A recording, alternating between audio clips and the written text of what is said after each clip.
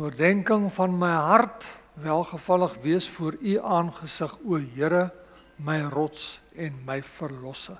Gemeente, genade, barmhartigheid en vrede word u geskenk deur die kragtige inwerking van God die Heilige Gees. Amen. Ek wil vir u nooi liewe gemeente om saam met my te blaai na Genesis hoofstuk 1 vers 26 tot 31. En terwyl ons nou vanmôre hier is, wil ek net sê vanoggend se woord gaan 'n oorsigtelike woord wees. Ek wil graag vir u inlei in die gedagte van Pinkster. Maar ek wil hê u moet God se tydlyn sien van hoe hy met ons as mense maak. So Genesis hoofstuk 1 en ons lees daarvan af vers 26.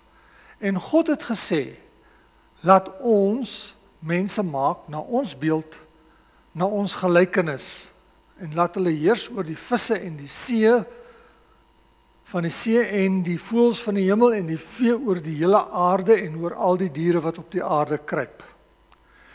En God het die mens geskape na sy beeld. Na die beeld van God het hy hom geskape. Man en vrou het hulle geskape. En God het hulle geseën. En God het vir hulle gesê: Wees vrugbaar en vermeerder en vul die aarde. Onderwerp dit en heers oor die visse van die see en die voëls van die hemel en oor al die diere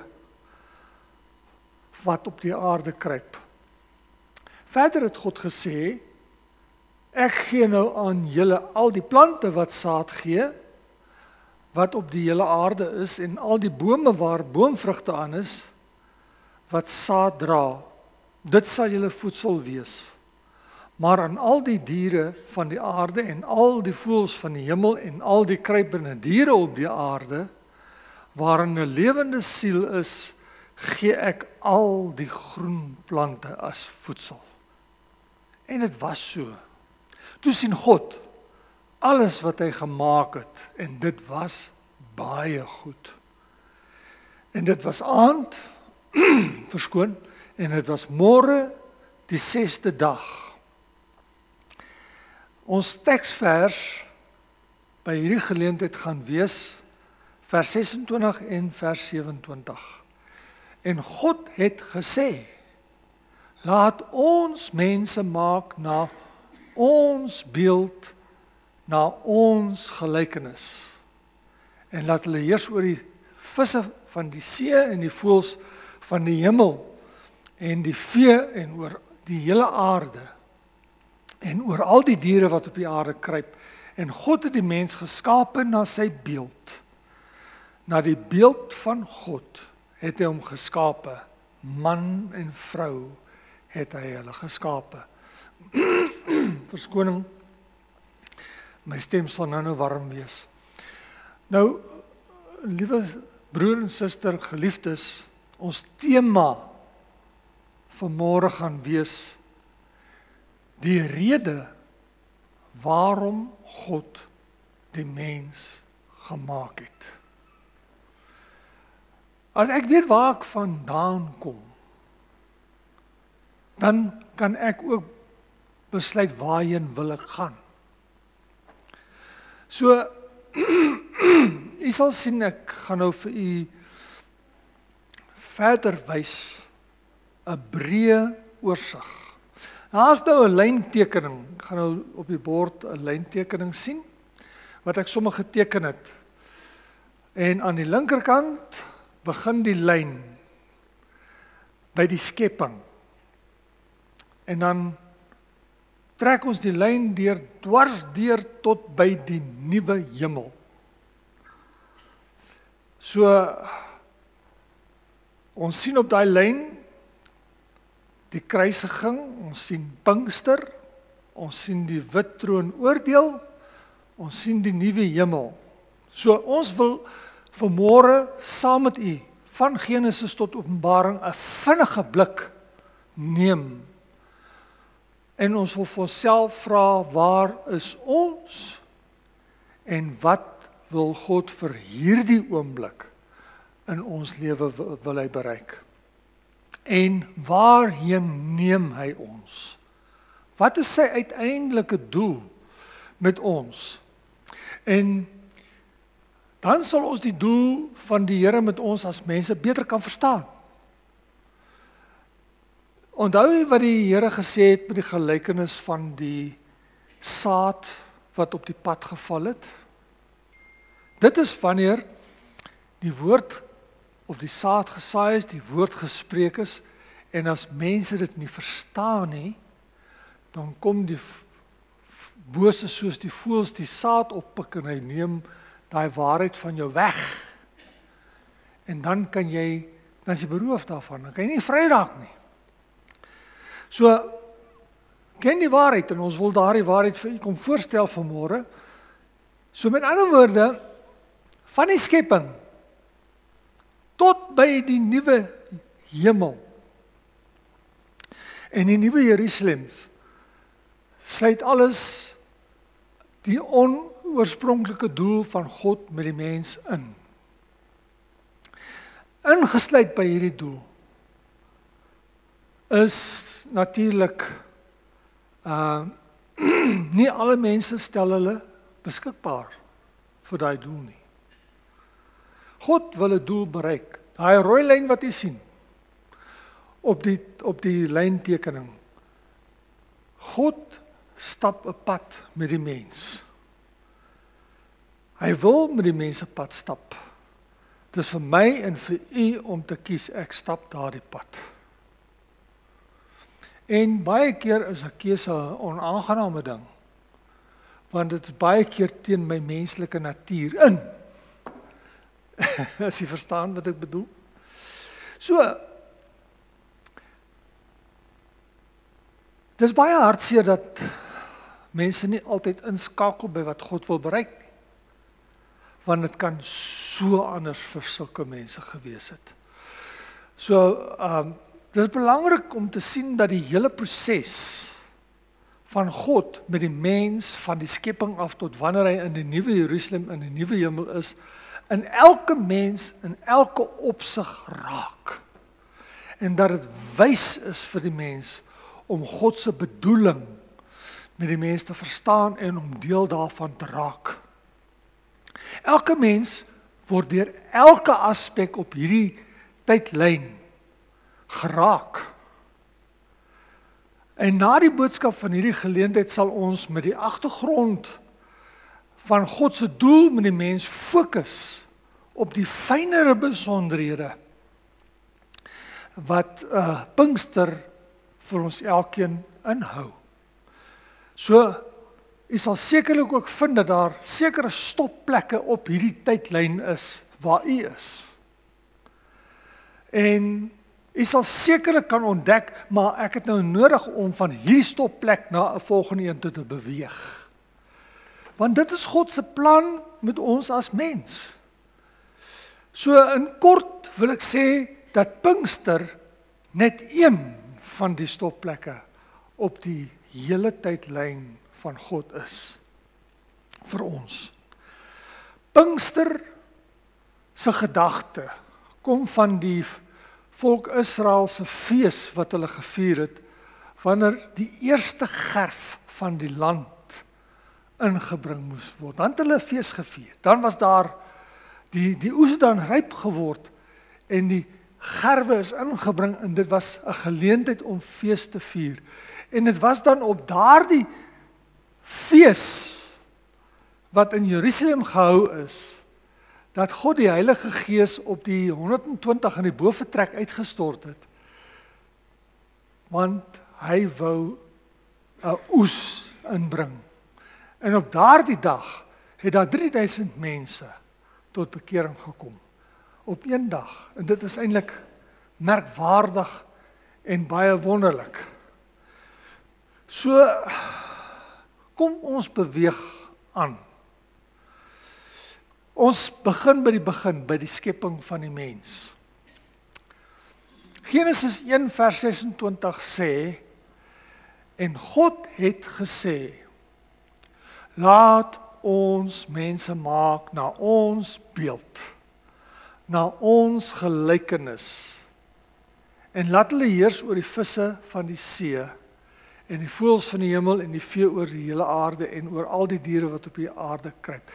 God het ons geskape want hy het 'n behoefte aan ons gehad. Kan jy dit dink? Laat ons mense maak na ons beeld.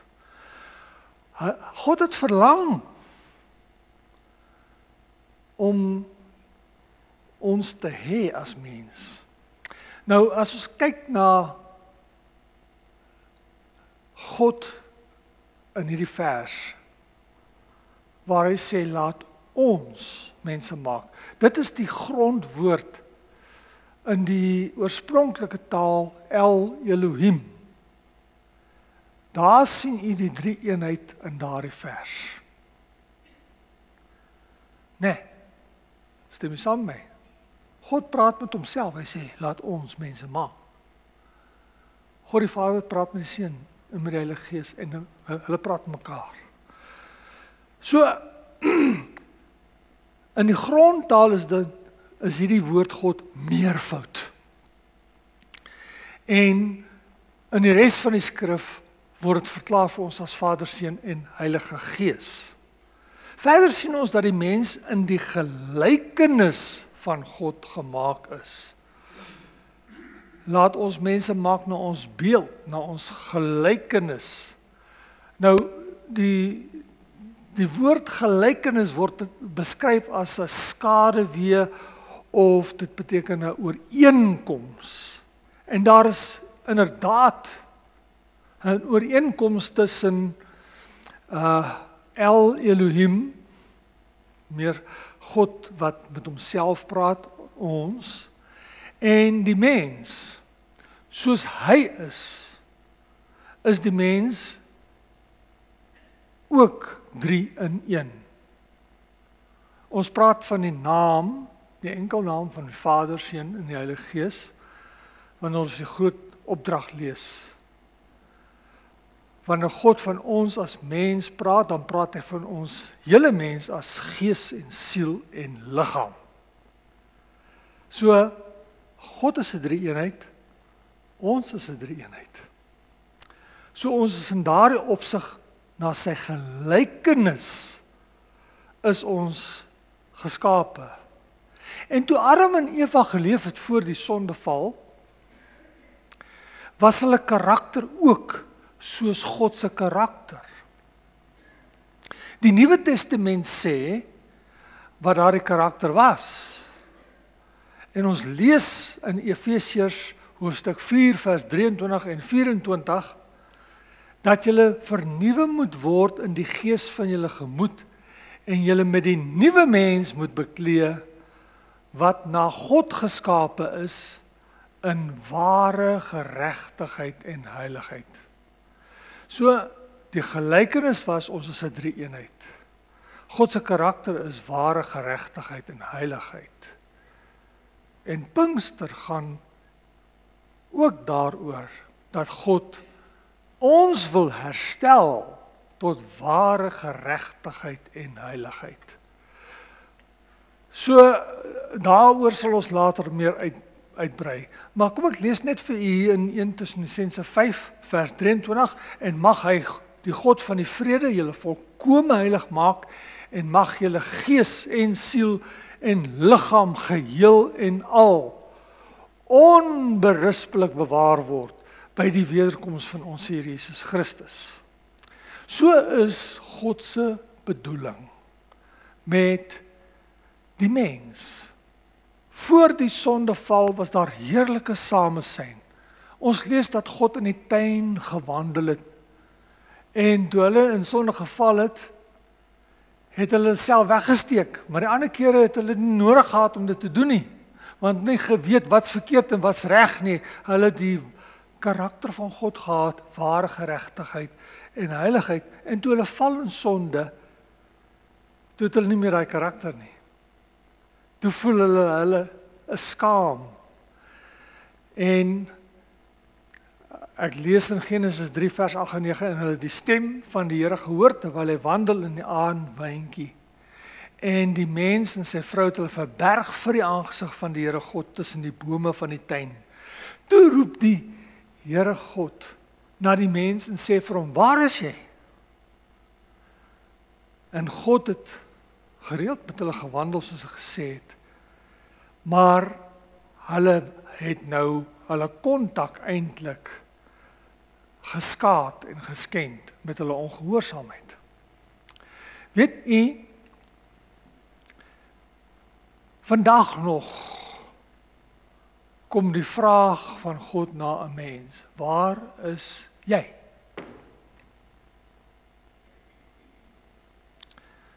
Ek wil jou ken. Ek wil hê jy moet aan my behoort. Ek wil samesyn met jou hê. Ek wil met jou wandel soos ek met Adam en Eva gewandel het voor die sondeval. En ons lees daardie uitdrukking van God se begeerte in 1 Korintiërs 1 vers 9. God is getrou deur wie julle geroep is tot die gemeenskap met sy seun Jesus Christus ons Here. Met ander woorde fellowship. Samesyn. Dis deel van die tydlyn. En dit bring ons by die belofte. Onthou net die mense het 'n geval in die sonde. Nou is daar 'n volgende ding. Wat het God van sy kant af gedoen? Dat daardie gemeenskap daardie fellowship herstel kan word. En ons lees in Genesis 3 vers 14 en 15 en God praat met die slang wat die duiwel verpersoonlik hierso.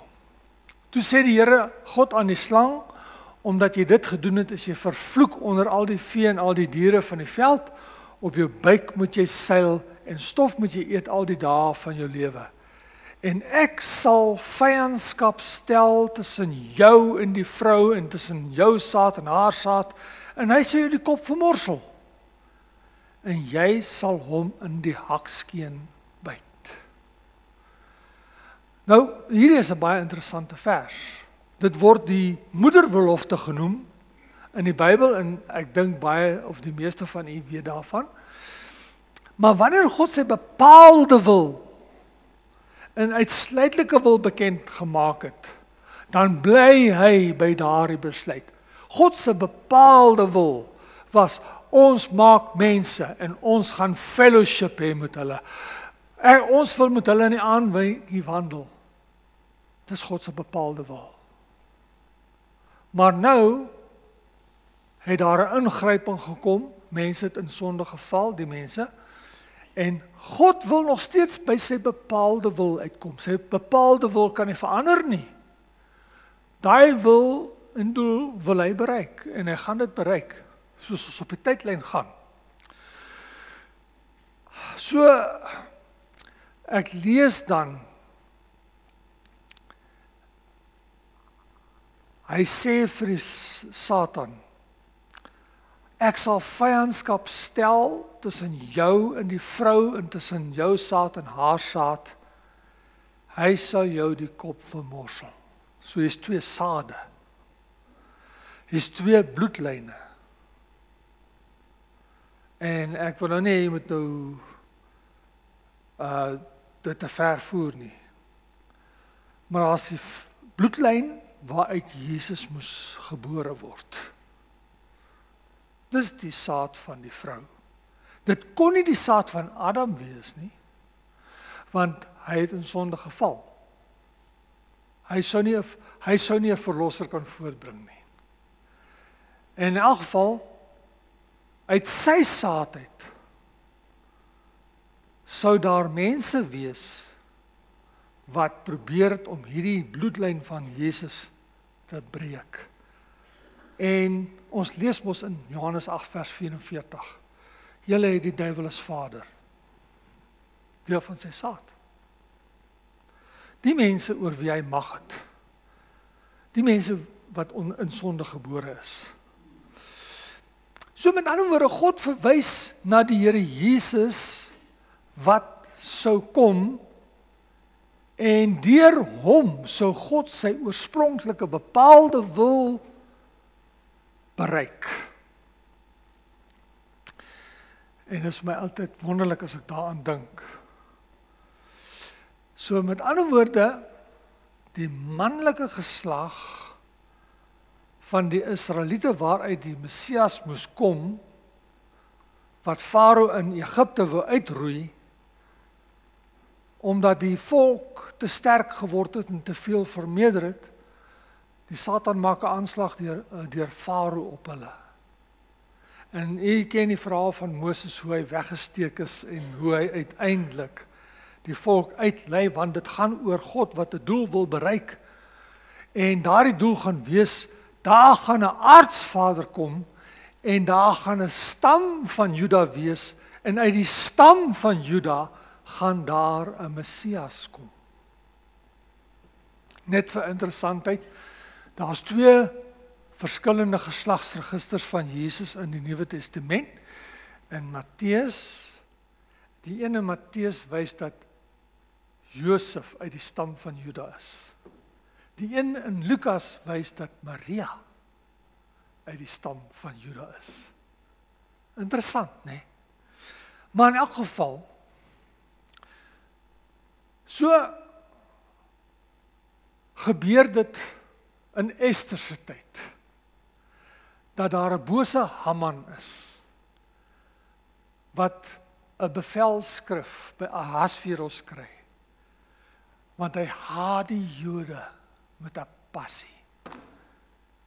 En God gryp in deur Ester en die volk word behou. 'n Bietjie verder op die tydlyn in die tyd van Herodes hoor Herodes dat Jesus gebore sou word of gebore is. En hy en hy skyn heilig en hy maak of hy vreeslik belangstel en hy sê vir die wyse manne, sê tog vir ons waar het julle hom gevind? Want ek wil hom aan aan hom eer gaan bewys. Maar hy wou nie aan hom eer bewys nie, hy wou hom doodmaak want hy wou nie kompetisie hê nie. Hy het gedink Jesus sou vir die Israeliete 'n koning wees wat hulle 'n aardse koninkryk omgee. Maar God waarsku vir Josef deur 'n gesig in hulle vlug Egipte toe en ons ken die hartseer verhaal hoe baie kindertjies onder 2 jaar deur Herodes vermoor is. Maar God was altyd in beheer en hy het toe gegee dat dat Jesus behoue gebly het. En toe Herodes dood is, toe hulle terug en hulle gaan bly in Galilea. En dan op 30 jarige ouderdom begin die Here Jesus met sy opmars na Jerusalem en hy stap Jerusalem in of hy gaan Jerusalem in op 'n esel en hy word gekruisig uiteindelik. En hy verdien dat een ek gered kan word. Dit vloei alles uit God se voorsiening in die belofte van Genesis 3 vers 14 en 15. Ek sal vyandskap stel tussen jou saad en haar saad en hy dis Jesus sal jou die kop vermorsel. So ons pluk vandag die vrug van die Here Jesus se verdienste en ek wil net sê loof die Here daarvoor. En dit bring ons by die volgende punt. Die kruisiging. Ek lees in 2 Korintiërs hoofstuk 5 vers 18 en 19. Dit is alles uit God wat ons met homself versoen het deur Jesus Christus. En nou praat die apostel Paulus en ons die bediening van die verzoening gegee het, naamlik dat God in Christus die wêreld met homself versoen het deur hulle hul misdade nie toe te reken nie en die woord van die verzoening aan ons toe te vertrou. Daar was 'n kloof tussen God en mens vanweë die sondeval. En die en dit kon nie deur 'n mens weggeneem word. 'n Blote mens uit Adam se bloedlyn nie. Maar net Jesus kon daardie kloof oorbrug. Want hy was nie uit die bloedlyn van Adam nie. Hy was die seun van God want die Heilige Gees het Maria swanger gemaak. Maar dit sou kos dat die Here Jesus die vloek van die kruis sou dra om daardie kloof tussen ons en God te oorbrug. Dit sou alleen kon gebeur omdat God die Vader hom laat kwalifiseer het. 2 Korintiërs 5 vers 21 sê want hy God het hom Jesus wat geen sonde geken het nie sonde vir ons gemaak sodat ons kan word geregtigheid van God in hom geregtigheid in hierdie sin beteken wanneer ek Jesus aangeneem het as my verlosser en my saligmaker skryf God wetlik juridies al my sonde af. Ter wille van Jesus is ek vrygespreek.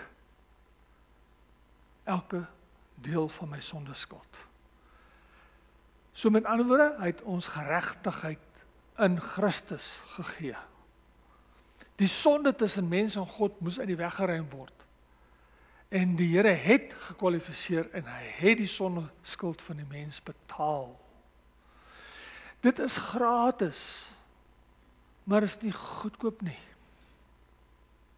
Dit het gekos dat die Here Jesus sy luisterryke heerlikheid verlaat, sy goddelike gestalte moes aflê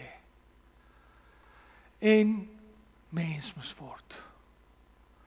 Al die versoeking van 'n mens deurleef sonder om ooit te sondig.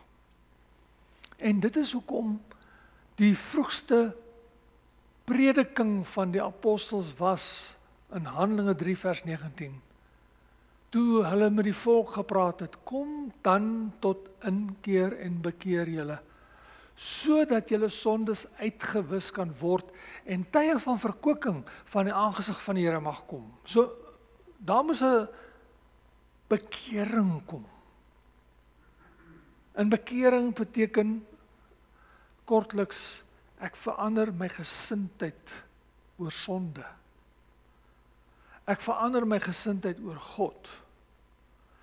Ek draai 180 grade om en ek stap weg van die sonde. Ek kom tot bekering, 'n hartsverandering. So met ander woorde, dit wat ek voorheen liefgehad het, het ek nou meer lief nie want ek weet dit het my Jesus aan die kruis vasgespijker. En nou is my siening vir God, hy's heilig. Allerheilig. En ek wil hom behaag. So ter wille van die Here Jesus word ons vergewe en vrygespreek En dis wat bekering vir ons doen. Maar as jy tot bekering gekom het, moet jy net onthou jy is nog op die tydlyn. Daar's nog baie wat moet gebeur. Want as jy kan onthou op die tydlyn was daar die kruisiging en toe is daar Pinkster. God wil sy voorneme met u uitvoer. En dis ook wat die woord van die Here in Romeine 8 sê. Waar hy sê dat alles ten goeie meewerk vir hulle wat God liefhet. Sodat hy sy voorneme kan bereik met hulle. En dit bring ons by persoonlike Pinkster. Nou het ek my bekeer. Ek is nou versoen. Ek is nou wedergebore. Ek het persoonlike Pinkster nodig. En ek lees in Handelinge 1 vers 8. Maar julle sal krag ontvang wanneer die Heilige Gees oor julle kom. En julle sal my getuies wees in Jerusalem, sowel as in die hele Judea en Samaria en tot aan die uiterste van die aarde. Die disippels wat aan die Here behoort het, was op pad hemel toe. Tog was hulle lewe nie 'n advertensie vir die koninkryk van God nie. Petrus verloon die Here.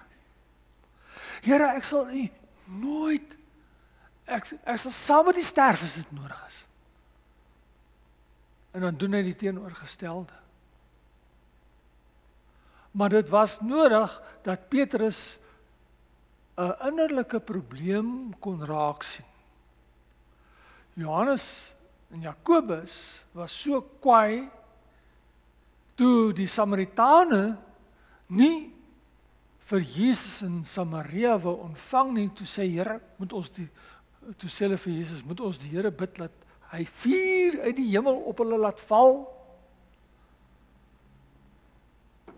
Toe sê die Here Jesus vir hulle julle weet nie hoe danige gees julle het julle weet hoe lelik dit is wat julle nou gedoen het en wat julle nou wou doen nie hulle het ook die bynaam gehad seuns van die donder Bonarges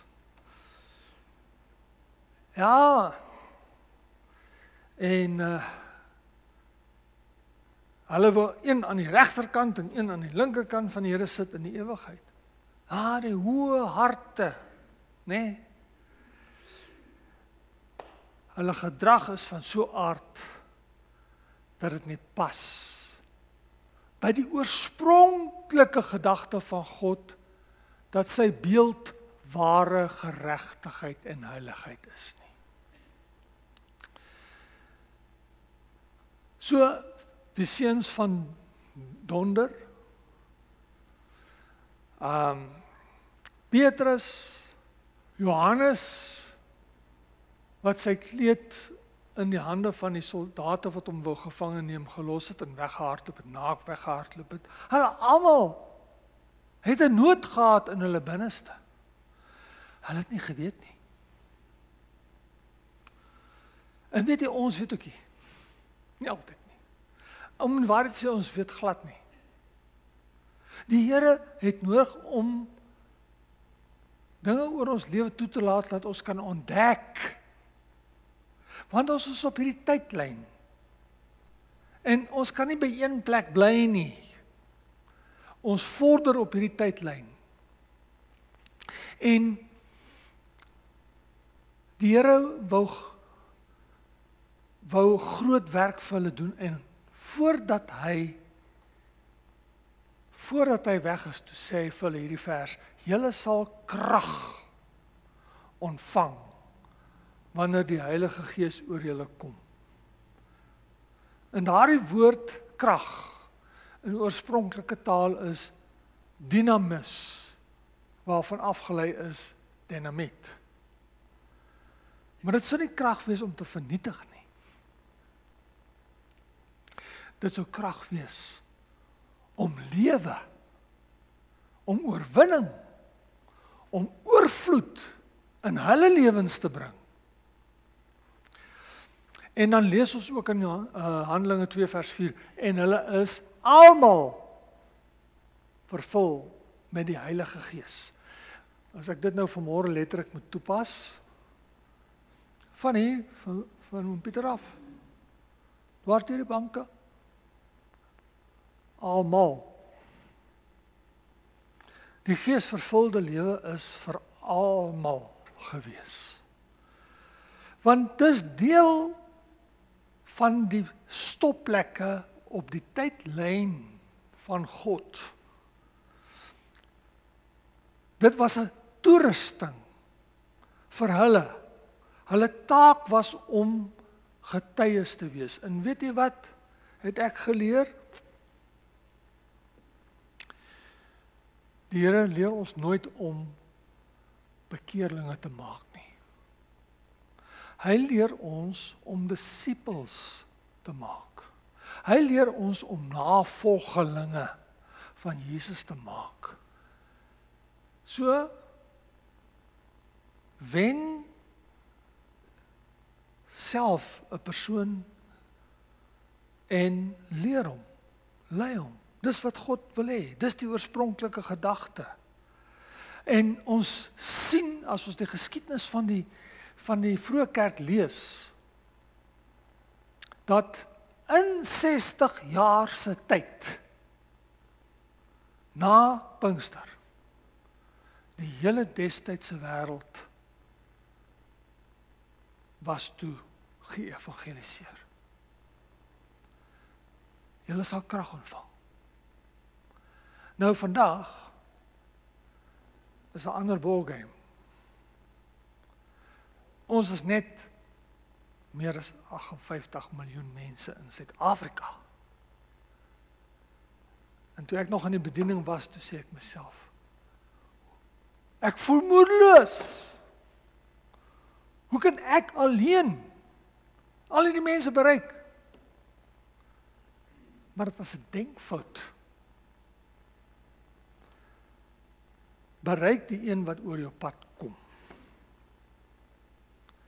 Gebruik die geleentheid om vir hom te sê ja, voor in my lewe het ek ook so en so en sis gedink, maar die Here Jesus het in my lewe gekom.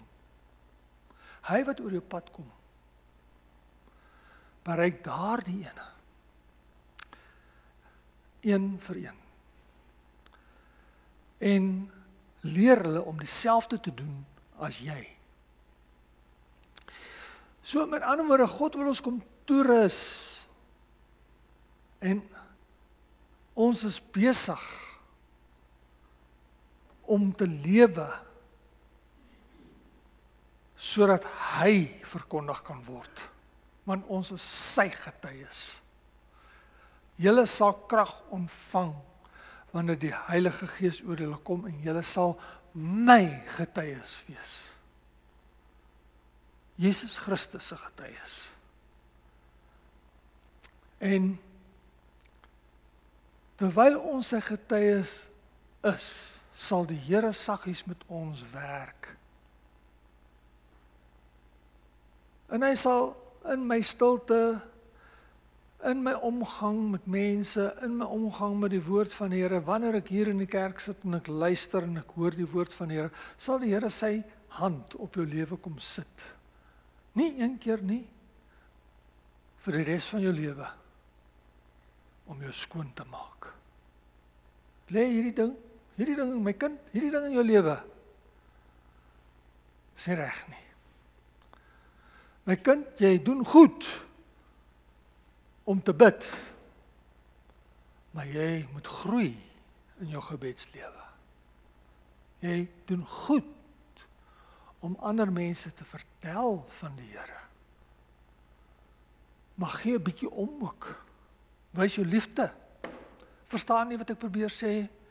Die Here kom lê sy hand op jou en dan gebeur wat Romeine 8 vers 29 en 30 sê en ek gaan dit weer vir u lees want die wat hy van tevore geken het, weet hy ook van tevore verordeneer om gelykvormig te wees aan die beeld van sy sy seun sodat hy die eersgeborene kan wees onder die onder baie broeders en die wat hy van van tevore verordeneer het, dit het hy ook geroep en die wat hy geroep het, het hy ook geregverdig en die wat hy geregverdig het, dit het hy verheerlik. Kan jy sien?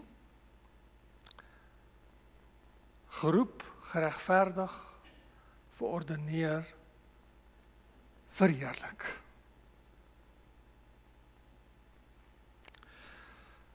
En dit bring ons by ons volgende punt.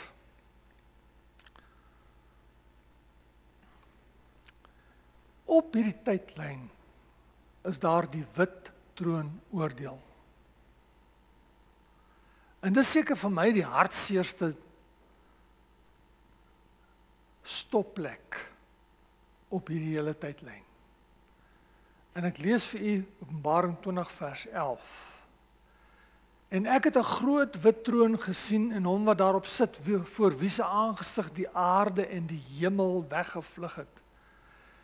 En daar is geen plek vir hulle gevind nie.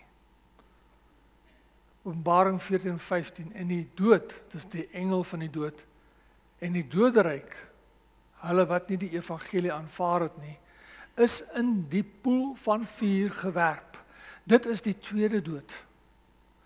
En as dit bevind is dat iemand nie opgeskryf was in die boek van die lewe nie, is hy in die poel van vuur gewerp. Watter verskriklike dag sal dit wees vir hulle wat nie die aanbod geneem het van bekering en wedergeboorte nie.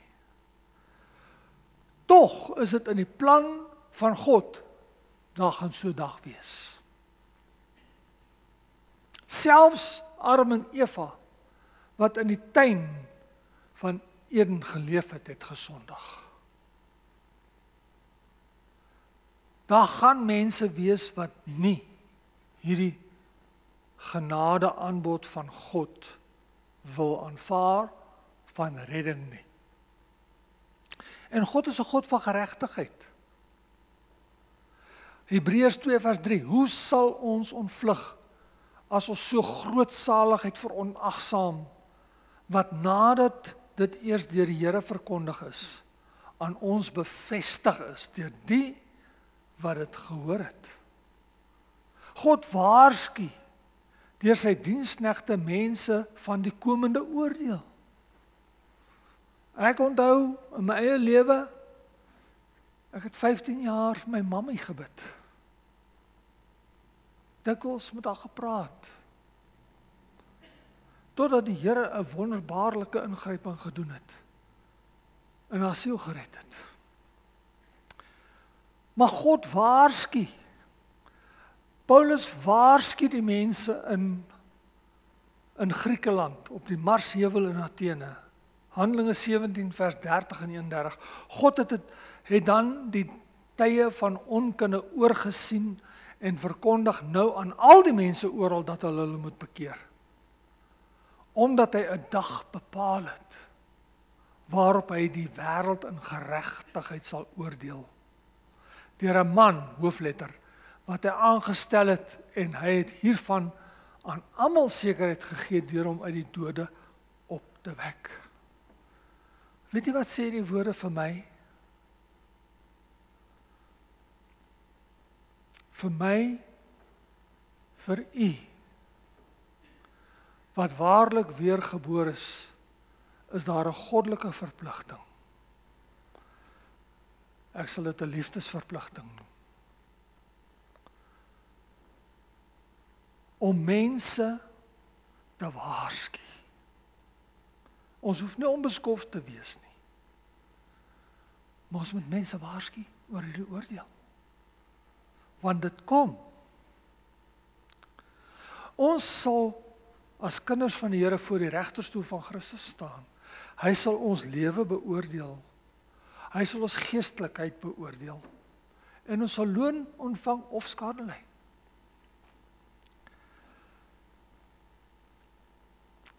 Volgens hoe ons geleef het.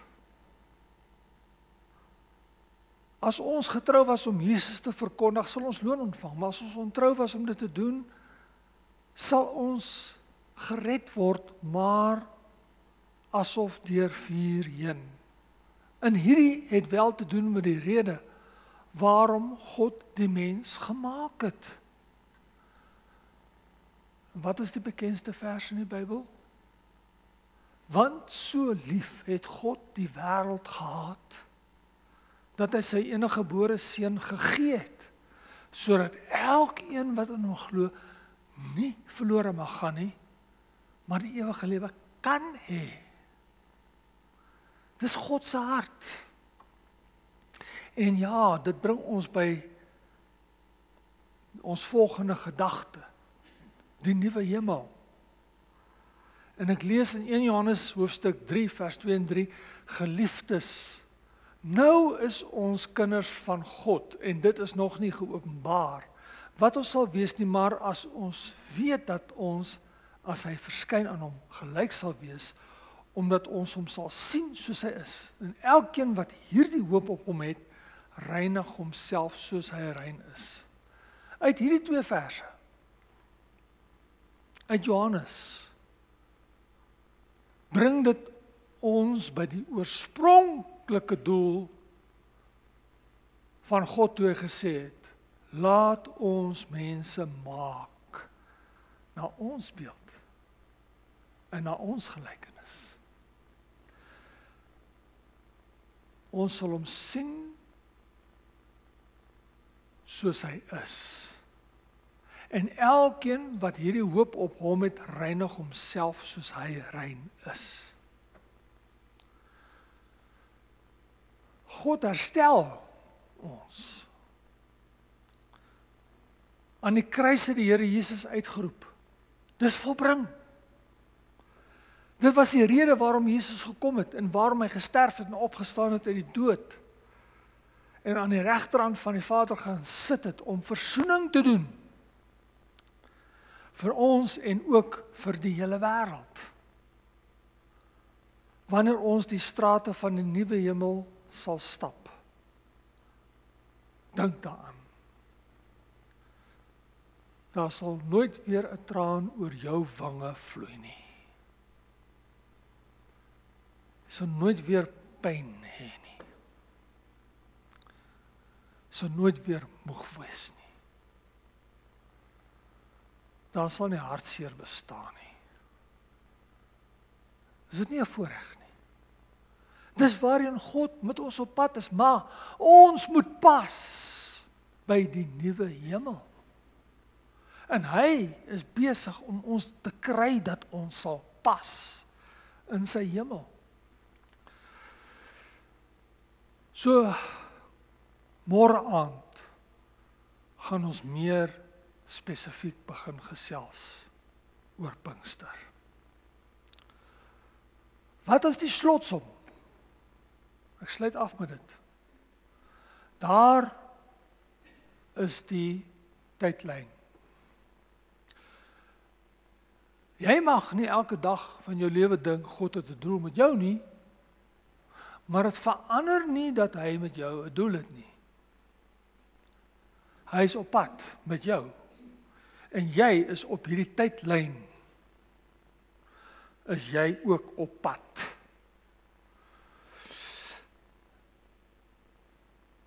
gaan en bedink. Dit wat ek net so vinnig in 'n oorsig vir u gesê het vandag.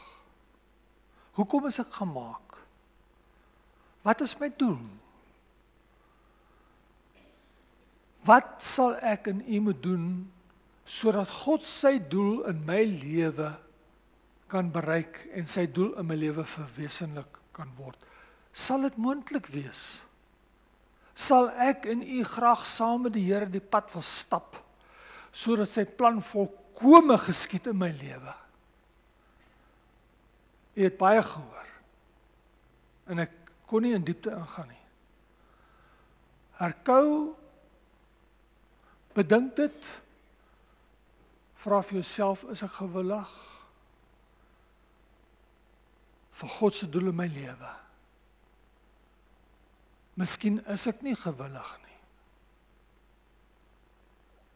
En dit klink sleg as ek sê dis oukei. Okay.